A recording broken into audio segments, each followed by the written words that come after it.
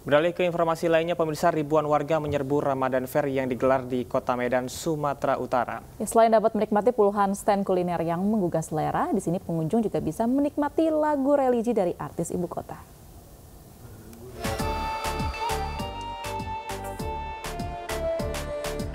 Ribuan warga kota Medan dan sekitarnya berdatangan memadati Taman Sri Deli Jalan Masjid Raya Kota Medan, Sumatera Utara untuk meramaikan pembukaan Ramadan Fair 2023. Ramadan Fair di Kota Medan ini sempat terhenti selama dua tahun karena pandemi COVID-19. Saat waktu berbuka tiba, ribuan pengunjung tak sabar mencicipi berbagai kuliner Nusantara maupun mancanegara yang menggugah selera. Selain kuliner, di sini juga banyak terdapat stand UMKM yang menampilkan kerajinan khas Kota Medan.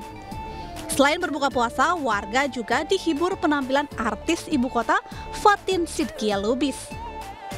Wali Kota Medan Bobi Nasution yang datang bersama Ketua TPPKK Kahiyang Ayu secara resmi membuka Ramadan Fair 2023.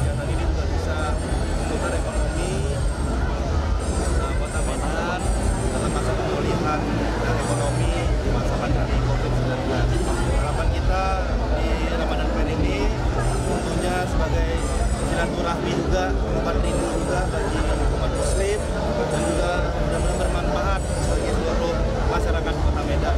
Kalau menurut saya sih bagus, eh, terutama untuk membantu para UMKM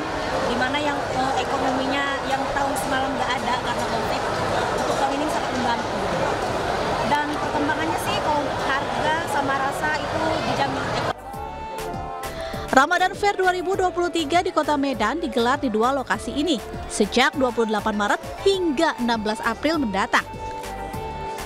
Dari Medan, Sumatera Utara, Adi Palapa Harahap, iNews melaporkan.